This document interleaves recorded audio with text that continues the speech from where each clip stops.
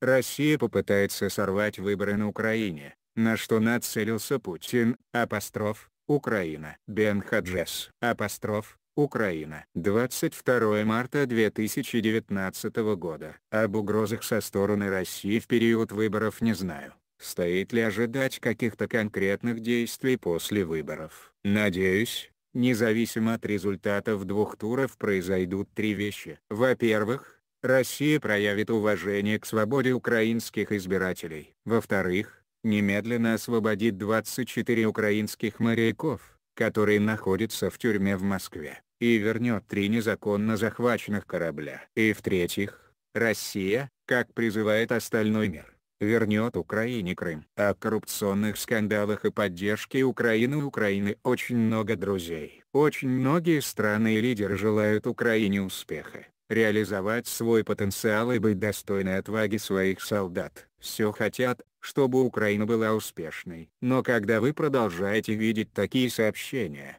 конечно, есть вероятность, что со временем друзья Украины потеряют уверенность. Понятно, что и россияне это используют, как только могут, чтобы посеять раскол среди украинцев чтобы украинцы потеряли уверенность в себе. Материалы на СМИ содержат оценки исключительно зарубежных СМИ и не отражают позицию редакции на СМИ.